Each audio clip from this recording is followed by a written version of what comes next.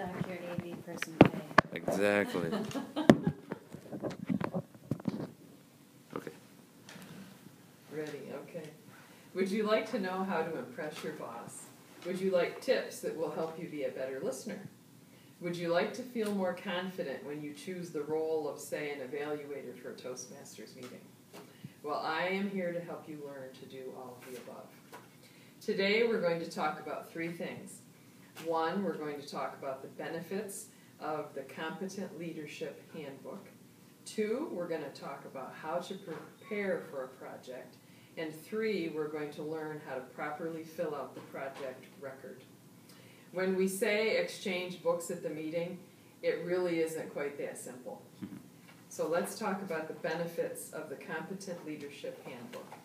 And that is this book right here. We want you to bring this book to the meeting every time we have the meeting.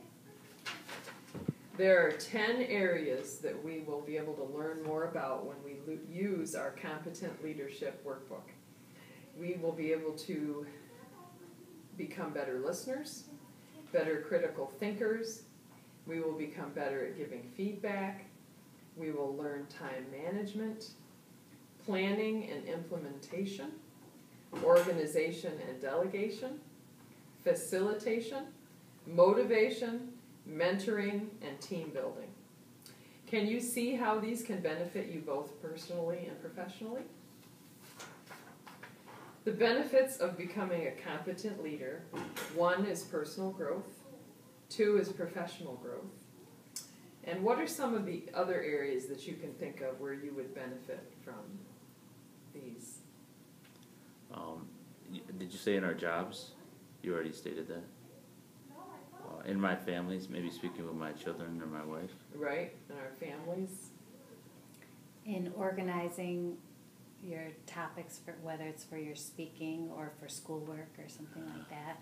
Organizing your Right. outline for Right. speaking, that kind of thing. Right. Great. So you can come up with some ideas yourself on how this is going to benefit you personally and professionally. So now we're going to learn how to prepare to complete one of these projects.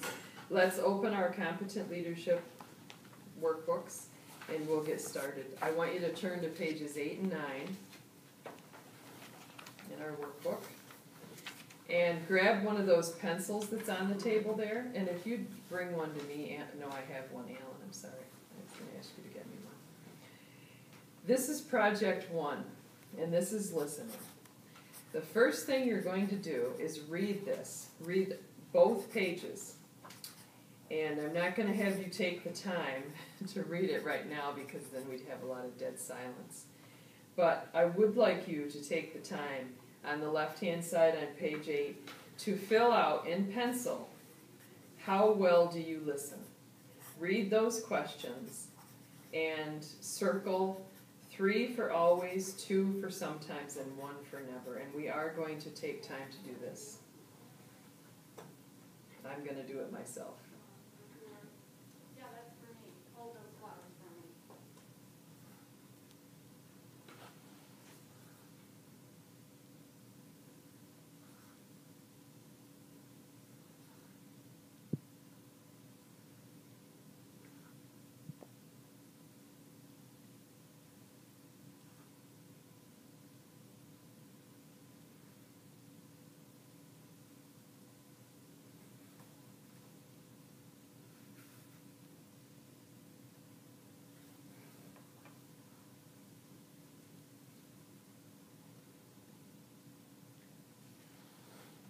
Have you Yes, finished that and gotten a score?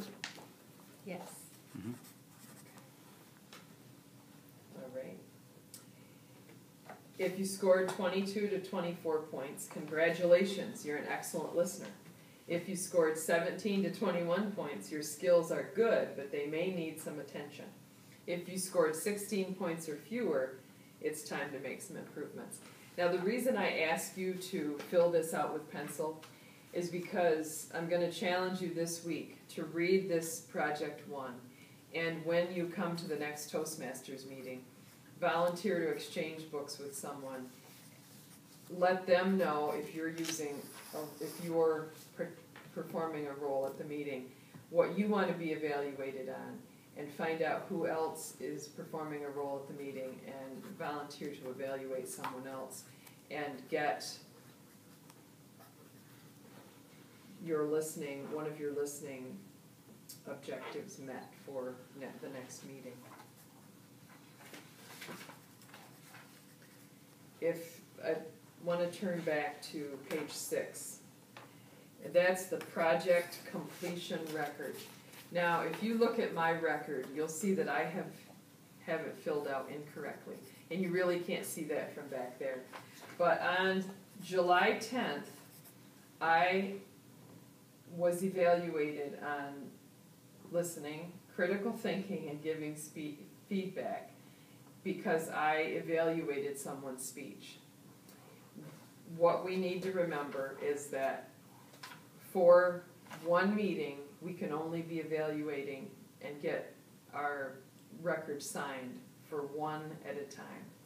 So for the listening project, you'll see it says complete three of four. So you can be evaluated as an eye counter, a speech evaluator, and a grammarian, or and or a table topic speaker. You only need to be evaluated three for three of those out of the four. And once you have three of them, all different dates, you can have the vice president education sign it over on the right hand side, which is who I would be the one to sign it, or if I'm not here, Mindy could sign it, or one of the other officers. Do, do you have any questions about that? Does that make it a little bit clearer? It does, I believe. I think I got a little bit ahead of myself. Once you've completed all ten projects, thank you. And you will note that it says right in this box, complete three of four, complete two of three. Under giving feedback, you need to complete three of three. Down here at the bottom, for team building, you need to complete Toastmaster plus general evaluator, or do one of the following roles. And they're a little bit outside of what we've learned about Toastmasters so far. So when you get a mentor, which is another homework assignment for us, is to sign up for a mentor this week on our box website. We'll talk more about that, and this may be something we can have our district representatives talk to us about. Now, the best part about this, and I didn't know it until I started reading this book. Once this project completion record is filled out, this part is filled out and signed and sent in to Toastmasters International. You can request that Toastmasters International send your supervisor a record that you have completed this. And it can be put into our file that we have become a competent listener, competent leader in Toastmasters. And that will be on our permanent record here at Cornell. So I think that's another great thing to work for, is to have that kind of information in our yeah. file. So I'd like to challenge you each week to read and fill out one project area in the Competent Leadership Workbook. Bring your workbooks to the meeting and exchange it with someone. You'll be glad you did.